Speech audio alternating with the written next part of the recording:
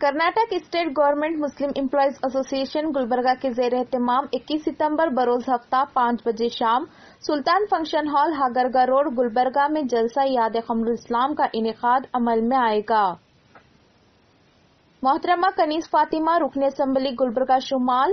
جلسہ یاد قمر الاسلام کا افتتاح انجام دیں گی۔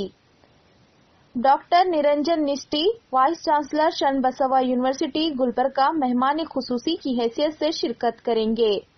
حضرت شیخ شاہ محمد افضل الدین جنیدی، سراج بابا، خلف اکبر و جانشین، بارگاہ شیخ دکن رحمۃ اللہ علیہ، گلبرگہ، حضرت سید شاہ ہدایت اللہ صاحب خادری سجنشین بارگاہ حضرت حیات محمد قادری،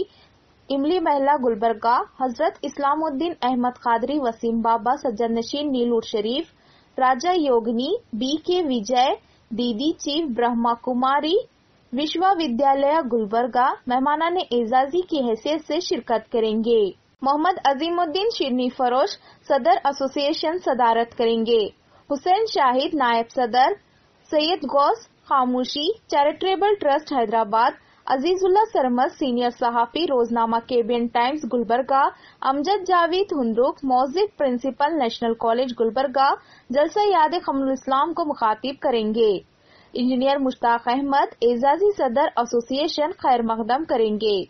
سید نذیر الدین متولی، جنرل سیکرٹری ایسوسی ایشن عبدالعظیم کاریگر، خازن ایسوسی ایشن واجد اختر صدیقی، ورکنگ صدر ایسوسی ایشن میر محمود علی نائب صدر ایسوسی ایشن نے محبان قمر الاسلام سے جلسہ یاد قمر الاسلام میں کثیر تعداد میں شرکت کرنے کی درخواست کی ہے۔